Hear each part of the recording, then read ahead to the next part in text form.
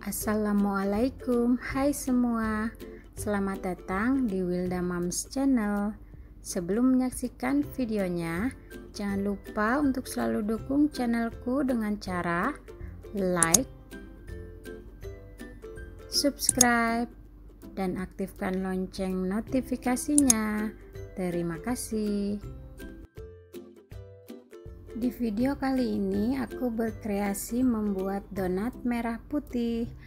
Untuk resep donatnya, di sini aku membuat donat madu dengan metode autolysis yang sangat mudah dan tidak capek mengulen. Bahan dan cara membuatnya, pertama siapkan 250 gram terigu protein sedang, kemudian 2 sendok makan madu.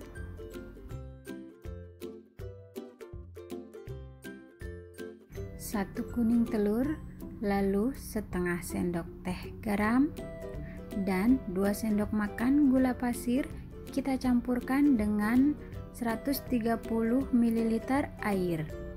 Kita aduk rata hingga gulanya larut Air bisa diganti dengan susu cair ya, sesuai selera. Lalu kita aduk hingga tercampur rata.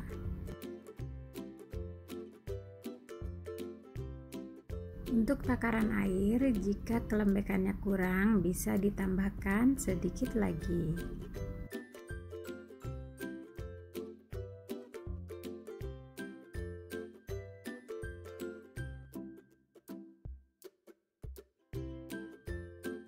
Setelah semua tercampur rata, lalu adonan ini akan kita tutup dengan plastik dan serbet.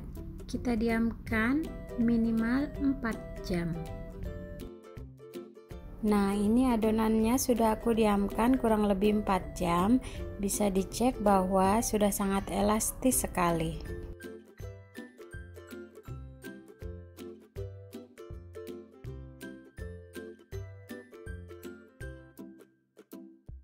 Selanjutnya kita akan campurkan satu sendok teh ragi. Beri sedikit air lalu kita aduk hingga membentuk seperti pasta. Lalu campurkan ke adonan. Dan kita aduk hingga tercampur rata.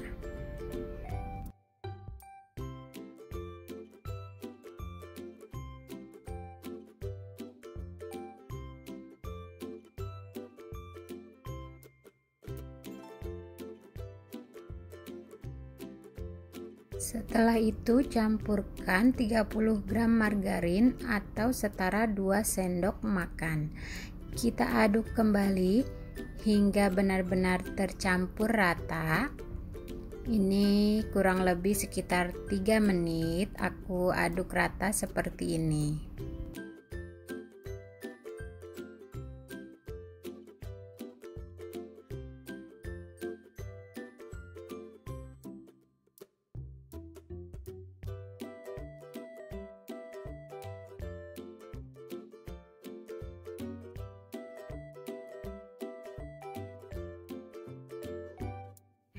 Nah, setelah margarin tercampur rata, tekstur adonan sedikit lembek ya. Tapi tidak apa-apa. Untuk selanjutnya, ini akan aku pindahkan di talenan dan bisa kita tabur dengan sedikit tepung terigu.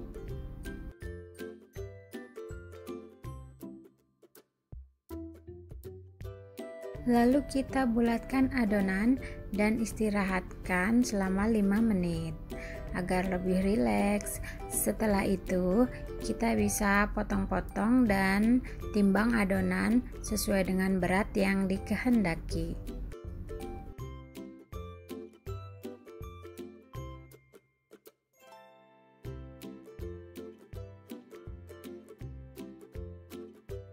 Setelah itu, kita rounding atau kita bulat-bulatkan adonan hingga permukaannya mulus.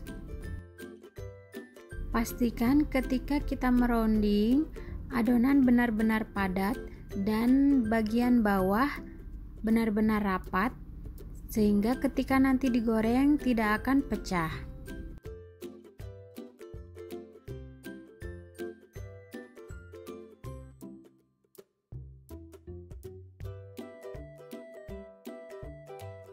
Setelah semua di rounding, kita tutup dengan plastik dan proofing kurang lebih 20 menit.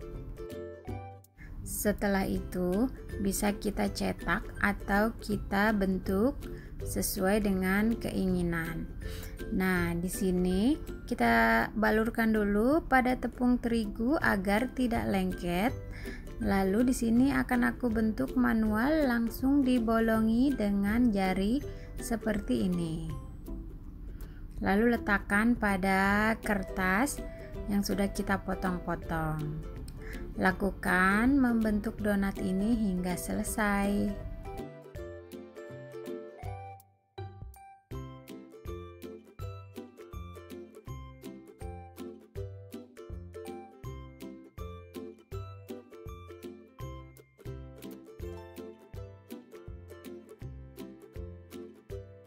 Jika ingin membentuk donat tanpa bolongan, tinggal kita pipihkan saja ya. Seperti ini.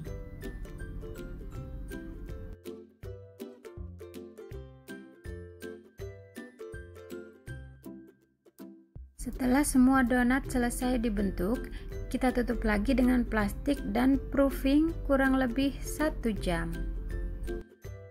Nah, ini donatnya sudah selesai di proofing dan sudah siap goreng. Tandanya donat sudah siap goreng yaitu permukaan kulitnya sudah terlihat tipis dan ketika kita tekan tidak mudah balik seperti semula. Selanjutnya kita panaskan minyak dan masukkan donat langsung ke penggorengan tanpa tersentuh tangan. Lalu langsung dibalik. Ini aku gunakan teknik menggoreng donat dengan dua kali balik. Maka ketika donat pertama kali dimasukkan ke minyak, langsung dibalik untuk yang pertama kali. Hal ini agar mengurangi atau mencegah munculnya gelembung-gelembung pada donat. Setelah bagian bawah kuning kecoklatan, bisa kita balik untuk yang kedua. Tunggu beberapa saat hingga bagian bawahnya juga kecoklatan, lalu bisa kita angkat.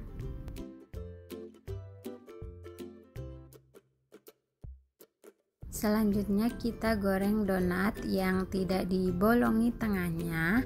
Caranya sama seperti tadi. Kita lakukan proses menggoreng ini hingga selesai.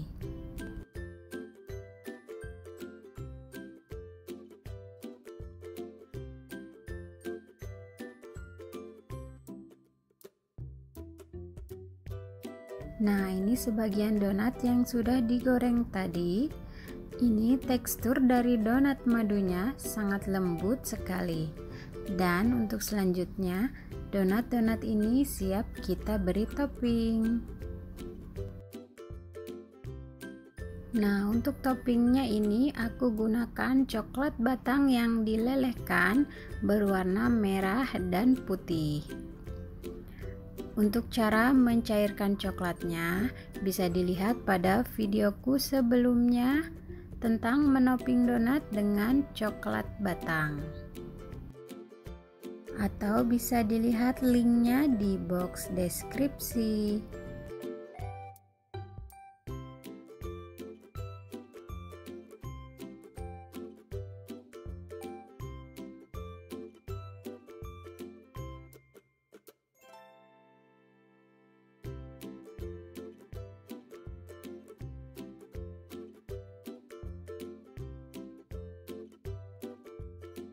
Karena ini tema merah putih, jadi aku buat semua motifnya merah dan putih.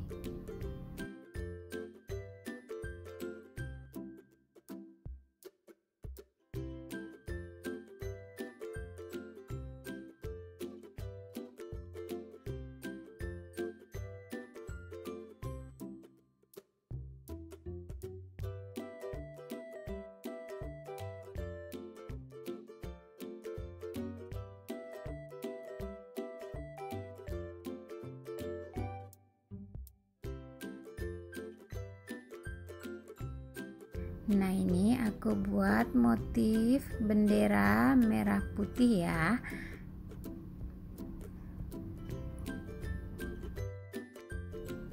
Motif ini langsung aku hias di atas donat.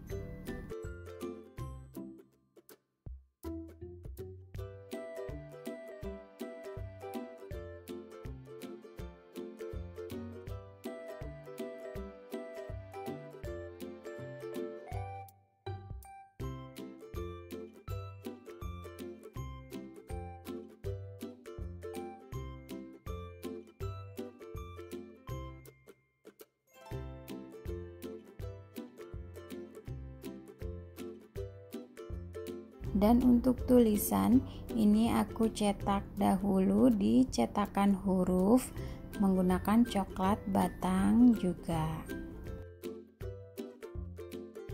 Nah ini dia hasil akhirnya. Donat merah putih untuk menyambut hari kemerdekaan Republik Indonesia. Terima kasih sudah menonton